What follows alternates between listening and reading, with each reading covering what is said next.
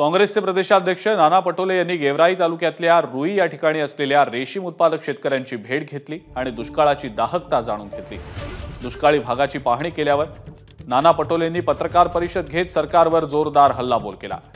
पत्रकार परिषदेत नाना पटोले यांनी थेट मुख्यमंत्र्यांना फोन लावला तेव्हा सरकार नॉट रिचेबल आणि जनता वाऱ्यावर अशी टीका नाना पटोले यांनी केलेली आहे.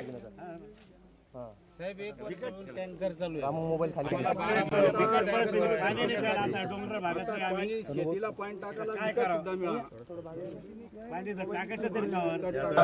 ही सगळी घटना झाली. त्याच्यावर तातडीनं कारवाई करून पुढच्या काळात अशा घटना होणे याची काळजी घेतली पाहिजे. नंतर सरकारवर गुन्हे दाखल करा. सरकारने समजा या सगळ्या उपाययोजना पूर्ण केल्या नाहीत तर काँग्रेस शेतकऱ्यांबरोबर आणि सामान्य माणसाबरोबर रस्त्यावरची लढाई लढेल हे सुद्धा मी आवर्जून या ठिकाणी सांगेल. आणि सरकारला मग सडोकी पळू केल्याशिवाय आम्ही सोडणार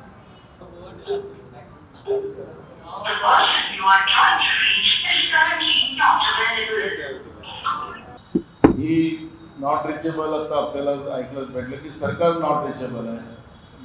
जनता वाऱ्यावर आहे. आणि काँग्रेस पक्ष जनतेबरोबर आहे. एबीपी माझा.